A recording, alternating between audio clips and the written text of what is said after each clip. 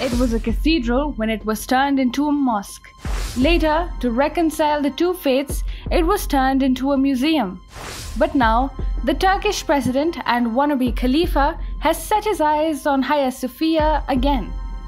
And the Christians of the world are not happy. Turkish President Recep Tayyip Erdogan is going all out with his ambitions to relive and glorify the brutality of the Ottomans of the medieval era. On Thursday, Turkey's top court convened to decide the fate of Hagia Sophia and examine a 1934 decree that converted the 1500 year old cathedral into a museum. The court has reserved the verdict and is expected to announce its verdict within 15 days. It will decide whether the Byzantine era monument should remain a tourist spot or be converted into a place for Muslim worship. The verdict is a mere formality for Erdogan to find greater legitimacy for his move to make the monument a place for Muslim worship. Hagia Sophia is a UNESCO World Heritage Site that was constructed in the 6th century during the reign of Justinian I, a Byzantine ruler. It was the main seat of the Greek Orthodox Church and remained so until the conquest of the Byzantine or the Eastern Roman Empire by the Ottomans. In 1453, Constantinople, which is present day Istanbul, was captured by the Ottoman ruler Mehmed the Conqueror and the cathedral Hagia Sophia located here was plundered and converted into a mosque. Later, in 1935, the secular founder of Turkey, Mustafa Kemal Ataturk, altered the building into a museum. It attracts millions of tourists every year and serves as a symbol of pacification of sorts. But Erdogan wants to make Hagia Sophia his latest political battleground at both domestic and international levels. When Erdogan entered active politics 30 years ago, he was indifferent to the demands for converting the structure into a mosque.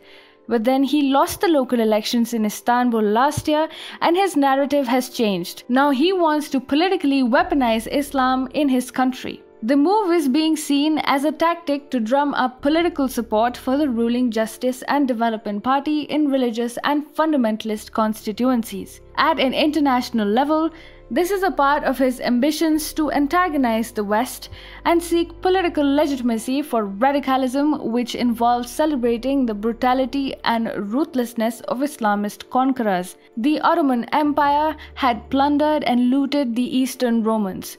Hagia Sophia's status as a monument observes pacification, but its conversion into a mosque will exhibit a sense of historical domination. Erdogan insists that this is a matter of Turkey's national sovereignty. The Turkish president said, They dare tell us not to transform the Hagia Sophia into a mosque, and added that, Are you ruling Turkey or are we? Needless to mention, Hagia Sophia remains close to Orthodox Christians. Four popes have visited the monument, and countries like Greece are going to be profoundly hurt by Turkey's new move owing to the historical connections. The West is bound to get perturbed, especially due to the presence of the evangelical Christian elements who are not going to take this lying down. They are going to turn reactionary. Turkey has already fallen out of favor with the governments of these countries, but an extremist move of this level is going to have some serious repercussions. Every country with a significant Christian population is going to feel affected. Even countries like Italy, that share a historical affinity with the 6th century cathedral, are going to turn against Erdogan. Similarly, Russia would also end up opposing this move as 71% of the country's population identifies itself as Orthodox Christian. Putin himself shares a relationship of dominance over Erdogan, which he will, in all probability, reassert amidst the latter's Hagia Sophia move. In fact, Greece, which already shares far too much of acrimony with Turkey, has unsurprisingly made a big issue out of the plans to convert the ancient cathedral into a mosque. The country has been invoking Christian sentiment since May when Erdogan allowed recitation of Quranic verses in Hagia Sophia.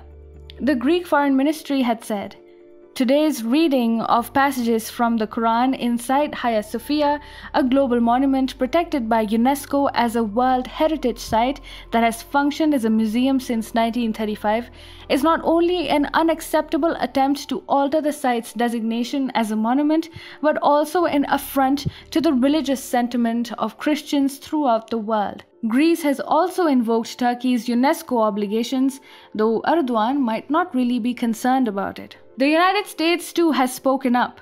Secretary of State Mike Pompeo said the United States views a change in the status of the Hagia Sophia as diminishing the legacy of this remarkable building and its unsurpassed ability, so rare in the modern world, to serve humanity as a much needed bridge between those of different faiths, traditions, and cultures. Turkey is challenging the West and the liberal world order and openly moving towards the loose strategic axis of countries like Russia, China, Iran, and Venezuela. It is a different matter that this loose strategic axis itself is going to get riddled with fissures given the inherently fundamentalist character of the Hagia Sophia move.